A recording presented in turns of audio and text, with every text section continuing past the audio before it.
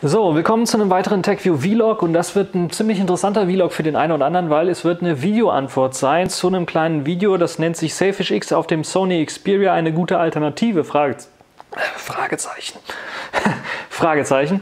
Und äh, das wurde vom YouTube-Kollegen Daniel Furmanek aufgenommen. Und ich möchte jetzt so ein bisschen auf ein paar Punkte eingehen. Zum einen natürlich die Zielgruppe, die du so ein bisschen erwähnt hast. Da hast du ja irgendwie von äh, Leuten erzählt, die sich wenig mit ihrem Smartphone beschäftigen wollen. Und so die Eltern- oder Großelterngeneration. Und ich muss ganz ehrlich sagen, nein, da liegst du komplett falsch. Das ist im Grunde genommen, ist das für Technikinteressierte, für Technikfreaks, die jenseits des Duopols von iOS und Android etwas suchen, was vielleicht so ein bisschen mehr Freiheit in Sachen Privatsphäre und so weiter bietet, wo ich auf meinem Android-Gerät, ich habe übrigens auch ein BlackBerry Key One, äh, wo ich da nicht einen Google-Account einrichten muss, Google meine Daten geben muss, um auf den Play-Service zuzugreifen und so weiter und so fort, wo die Daten mir gehören und ich die Kontrolle über die Daten habe, wo sie hinfließen und äh, wo ich sie haben möchte. Für die Leute ist im Grunde genommen Selfish OS gedacht. Aber vielleicht auch für die Leute, die vielleicht nicht so sehr auf eine Java-Software stehen, die auf ihrem Gerät läuft, sondern die auf Qt stehen, die auf QML stehen, die auf einem richtigen Linux stehen, ein Wayland, was da läuft, ein Systemd, ein ButterFS, ein X4, was auch immer. Äh, also ein richtiges Linux, äh, wo ich vielleicht auch ein X-Wayland drauflaufen lassen kann und vielleicht zur Not meine Desktop-Anwendung drauflaufen lassen kann und kompilieren kann. Oder wo ich mal in Terminal reingehen kann mit WeChat im IRC oder in, in, in Matrix rumchatten kann kann, Dafür ist Selfish OS gedacht. Für diese Leute ist Selfish OS gedacht. Für diese Leute ist Selfish OS gemacht worden. Und von diesen Leuten ist das vor allen Dingen auch gemacht worden, die da Spaß dran haben, ein Linux auf einem Smartphone zu haben. Ein richtiges Linux, was sich nicht Android schimpft. Leute, die vielleicht aber auch mit Swipe-Gesten groß geworden sind, jetzt jenseits von iOS und dem neuen Android P, sondern vielleicht schon mit WebOS groß geworden sind und den Swipe-Gesten dort und sich da angefreundet haben und für die das Nokia N9 der heilige Gral in Sachen Swipe-Gesten Operating System war. Für die Leute ist das vielleicht vor allen Dingen auch gedacht, die daran Spaß haben, mit eben dieser Leichtigkeit des Swipens auf dem Xperia X, wo ich dann ganz einfach äh, hin und her swipen kann und das Gerät ziemlich leicht dadurch bedienen äh, sich lässt und weniger starr ich auf Knöpfe hauen muss, um dann bestimmte Sachen ausführen zu müssen. Klar, das gibt es hier immer noch, aber es fühlt sich einfach dieses Gefühl dieser Leichtigkeit, wenn man das mal länger, längere Zeit benutzt hat und dann auf einem Android-Gerät geht, man fängt automatisch an zu swipen weil es halt einfach so eingängig ist und so viel Spaß macht. Und ist auch einer wahrscheinlich einer der Gründe, weshalb jetzt auch iOS und auch Android eingesehen haben, dass man zumindest ein bisschen was an Sachen Swipe Support einbauen möchte oder muss. Eventuell auch, um modern zu erscheinen. So, äh, weshalb das auch jetzt noch einmal ganz klar dahin hingedeutet, dass das für Enthusiasten gedacht ist, für Technikfreaks, für Leute, für mich, vielleicht sogar auch für dich. Das liegt einfach ganz einfach daran, auch die Installation, die hast du ja angesprochen, die ist nicht so einfach. Die ist also nicht für die Eltern- oder Großelterngeneration gedacht, sondern so für Leute wie mich, für dich. Technikfreaks, Leute, die Spaß haben an äh, Geräten, rumexperimentieren mit Geräten, ausprobieren wollen, neue Sachen äh, lernen wollen und ein bisschen was vielleicht auch entwickeln wollen. Für solche Leute ist das Ganze gedacht. Es wird zwar jetzt auch mit Selfish OS 3.0, was jetzt in Q3 oder sagen wir mal Q4 also am Ende dieses Jahres rauskommen wird, wird es dann auch einen einfachen grafischen Installer geben, also dieses Windows-Installer-Ding weiter, weiter, weiter, weiter, okay, akzeptieren, weiter, okay und dann wird äh, das Ganze installiert. Das wird es ebenfalls geben, da arbeitet man dran für das Xperia X und auch für das neue Xperia XA 2, was ja auch unterstützt wird äh, oder unter, unterstützt werden soll mit Selfish S 3.0. Was ich nicht ganz begriffen habe, ist, äh, wieso du enttäuscht bist, von dem ganzen Selfish X. Das kann ich nicht so ein bisschen nachvollziehen. Deine Begründung war ja, weil die Hardware nicht komplett supported wird. Da frage ich mich, hast du denn vorher nicht gelesen, dass da drin steht, die und die Sachen funktionieren noch nicht?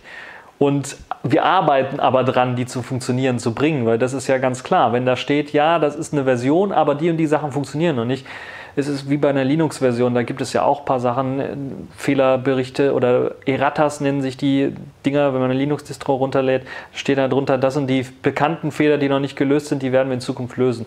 Im Grunde genommen gibt es das für das Selfish X, wenn man das kauft, natürlich genauso. Es gibt natürlich auch eine freie Selfish X-Version oder sagen wir mal eine Community, ein Community-Port, der ja dann ohne diesen ganzen proprietären Kram daherkommt, wo man das auch ausprobieren kann und äh, wo man vielleicht ein bisschen was eingeschränkter ist, weil es keinen Android-Support da dann äh, gibt, ähm, aber äh, wo man hätte auch das Ganze ausprobieren können, wenn man sich nur für die Technik interessiert. Ähm, Trotzdem, du kriegst jetzt natürlich mit Selfish S2.2 zum Beispiel den Fingerabdruckscanner-Support. Der kommt mit Selfish S2.2, da hast du die Möglichkeit, Passwort äh, oder den PIN-Code abzulösen. Es gibt natürlich auch neben dem PIN-Code, äh, du hast ja erwähnt, gibt nur einen PIN-Code, äh, es gibt auch ein, äh, heißt es Maze-Lock oder so, also dieses Mustererkennungsgedönse, was es auch bei Android irgendwie gibt, das kann man sich auch nachinstallieren. Findet man nicht im offiziellen Store, sondern da gibt es einen alternativen Store, das ist der Open Repo Store und äh, dort gibt es auch experimentellere, äh, freudigere Sachen, die im Grunde genommen auch nochmal widerspiegeln, dass das Ganze für Enthusiasten ist, für Technikfreaks, für Entwickler ist, die einfach Sachen ausprobieren wollen, die zum Beispiel ihre Smartwatch, eine App schreiben, damit ihre Smartwatch mit dem äh, Smartphone ähm, interagieren kann. Solche Leute ist das im Grunde genommen gedacht. Für die, die auch kontrollieren wollen, was die Smartwatch über einen dann preisgibt, die dann nicht die Daten vielleicht an einen chinesischen Hersteller senden wollen, äh, sodass das Ganze auf, einem, auf einer World Map dann aufpinkt. Der hat jetzt gerade hier, was weiß ich, 20 Kilometer ist er gelaufen oder so. Ja, äh, dann die Wischgestenbedienung. Ähm, Pro-Tipp von mir, ich habe den Fehler auch gemacht, wenn man gerade so eine Präsentation macht, neigt man dazu, das Gerät vielleicht flach auf den Tisch zu legen und dann mit den Wischgesten, äh, das, nee, das funktioniert nicht so richtig. Das hast du ja auch gemerkt bei dem Video, dass es Probleme macht. Äh, nimmt man das Gerät tatsächlich so in die Hand, ist die Bedienung mit den Wischgesten, ich kann ja mal hier reingehen in der App und äh, also ist, äh, jetzt habe ich hier den äh, minimiert die App. Ich habe jetzt hier den, den, äh, den, die Seite gewechselt und wieder zurück. Also das geht alles ohne Probleme. Also Pro-Tipp von mir ist wirklich, Wischgestenbedienung funktioniert, wenn man das Gerät auch wirklich in die Hand nimmt, wenn man es auf dem flach auf dem Boden, auf dem Tisch legt, äh, funktioniert es nicht so gut. Äh, anderes Problem ist, äh, eventuell, es hat jetzt ganz dünne Ränder, das äh, Sony Xperia X im Vergleich dazu zum Beispiel das äh, Motorola X2, das hat etwas dickere Ränder, da gehen die Wischgesten, gerade die seitlichen Wischgesten, eventuell etwas einfacher von der Hand. Ähm, Kommt natürlich immer auf das Gerät an. Aber die Wischgesten funktionieren. Also bei mir ohne Probleme nach einer bisschen Einarbeitungszeit natürlich, das äh, hat man so ein bisschen. Ähm, schnelles Wechseln zwischen Anwendungen als Wischgeste, das wird auch kommen. Das wurde auf dem MWC gezeigt. Ich kann das ja auch mal einblenden, wie das aussieht. Das funktioniert aktuell oder das, was auf dem MWC gezeigt worden ist, zwischen zwei Anwendungen, also so quasi Alt-Tab-mäßig.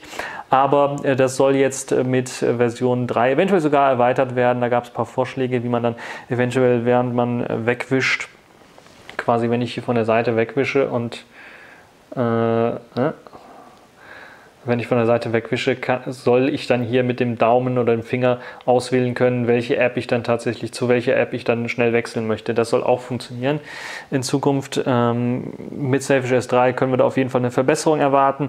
Und die Wischgeste zum Einstellen der Schnelleinstellungen, das befindet sich jetzt im Events View und da kann ich runter und dann mein WLAN oder Bluetooth an und ausmachen. Das wird es in Zukunft, da gibt es auch ein Video zu, für Selfish S3 äh, wird es das global geben, sodass man das anstatt dem äh, Ambience-Menü, was man von oben jetzt runterwischen kann, dann äh, komplett haben wird, auch mit den Schnelleinstellungen dort. Das ist also eine gute Sache. Fingerabdruckscanner habe ich schon erwähnt, Schnelleinstellungen habe ich erwähnt, Yola Store, Open Repos habe ich erwähnt als Alternative. Da gibt es eine App für, die nennt sich Storeman. Die kann man installieren, von Open Repos runterladen. Man muss vorher sagen, okay, ich möchte jetzt die äh, Apps von unbekannter Quelle installieren und dann kann man mit dem Storeman als Store-Anwendung dann auch von Open Repos Programme runterladen. Yola Store allgemein hat über 1000 Apps. Ich finde von, von der Qualität her gehen die Apps in Ordnung. Das schwankt natürlich je nach App. Also wenn es eine kleine App ist, wie beispielsweise die App, die ich geschrieben habe, um einfache Notizen zu machen, ist, es funktioniert halt, aber es hat halt irgendwie keinen Sync-Support mit OwnCloud oder Nextcloud oder was auch immer,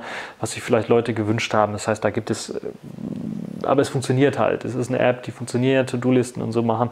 Ähm, aber wenn man halt eine App hat, um normalen Text in Leadspeak zu wandeln, ist natürlich äh, aber es gibt keine Werbung in den Apps. Das ist eine wichtige Sache. Weil bei Android nerv ich mich jedes Mal oder erwische ich mich jedes Mal, wenn ich dann eine App runterlade, vom, auch vom Play Store, dass da manchmal hier ein Balken ist, da unten ein Balken und hier so ein bisschen Content nur von der eigentlichen App und der Rest einfach in Werbung äh, gehüllt ist. Und das gefällt mir überhaupt nicht. Klar, es gibt natürlich auch Bezahl-Apps, das gibt es im, im Yola Store nicht. Ähm, aber äh, es ist, sagen wir mal, die Quantität bei Android ist viel größer, die Qualität nicht immer unbedingt. Natürlich, es fehlen die großen Apps im Yola Store, Instagram, Facebook und so weiter und so fort, fehlen eventuell so ein bisschen. Aber es ist auch nicht für die Zielgruppe gedacht. Es ist ja die Zielgruppe, die die Privatsphäre in die eigenen Hände nehmen möchte, die wegkommen wollen von Google, von Amazon, von Facebook, von Twitter und Co. Die wollen halt eben nicht alle ihre Daten da teilen. Deshalb, klar, gibt es diese großen Apps auch nicht und werden wahrscheinlich auch nicht in den Yola Store kommen, halt so schnell. Wie gesagt, OpenRepos habe ich angesprochen, eine gute Quelle. Ansonsten keine Werbung in den Apps. Die Apps sind kleiner, weniger zum Runterladen. Bei uns vielleicht nicht so groß, großes Problem, aber in anderen Ländern eventuell. Ähm, es gibt weniger Mist allgemein im Yola Store, das muss man ganz ehrlich sagen. Und ähm, Jetzt noch im Schnelldurchlauf, Google Maps läuft auch ohne Play Services. Da gibt es eine ältere Version, die läuft ohne Play Services. Die funktioniert genauso gut wie die anderen, weil sie das Kartenmaterial runterlädt von, äh, also online. Äh, und ähm, es gibt natürlich auch gehackte Versionen oder gecrackte Versionen, die ohne Play Services laufen. Und manchmal kann man die Play Services einfach wegklicken und es funktioniert trotzdem. Zur Kamera, da hast du gesagt, warum hast du nicht verstanden, warum die so schlechte Qualität macht? Kann ich ganz einfach erklären. Äh, Sony benutzt auf seiner Android-Version, auf seiner offiziellen Android-Version des Xperia X einfach einen anderen Treiber, der so geschlossen ist und mit Patenten behaftet ist, dass er nicht weiter genutzt werden kann der wird einfach gelöscht, wenn man hier was äh, eigenes drauf installiert. Das gilt auch für das Sony Open Device Programm, worauf ja Selfish S aufsetzt. Also wenn man sich in Android AOSP drauf installiert, hat man den gleichen Kameratreiber mit den gleichen Schwierigkeiten in dunklen Lichtsituationen. Es wird jetzt mit der Version 2.2 ein Update für das Autofokus-Problem geben, was ich ja auch schon in meinen Videos angesprochen habe. Äh, wenn du dazu mehr erfahren möchtest, kannst du auf jeden oder wenn ihr dazu mehr erfahren könnt, äh, möchtet, könnt ihr drauf anklicken. Ansonsten zu Apps möchte ich nur sagen, Selfish S App Podcast von mir, Selfish S Playliste kann man nachschauen, was es für Apps gibt. Da gibt es einige Empfehlungen, was das angeht.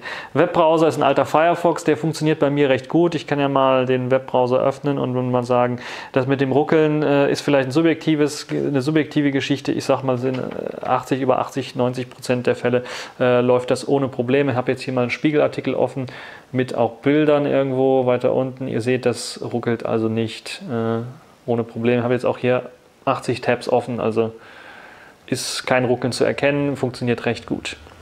Ansonsten Alternative, gerade wenn man Web-Apps erstellen möchte, ist WebCat, das ist mein eigener Browser, gibt es im Yola Store oder gibt es auch auf OpenRepos zum Runterladen. Dort kann man äh, durch das länger gedrückt halten auf die Favoritentaste, dann auf den Favoritenstern dann eine Web-App aus dem, äh, aus, also kann man ein Desktop-Symbol an, anlegen, quasi oder einen Home-Launcher anlegen für diese Webseite. So, das war's jetzt für dieses äh, kleine Video. Ich hoffe, es ist nicht zu lang geworden und äh, Kommentare unten hinterlassen und ansonsten liken und bis zum nächsten Mal. Ciao.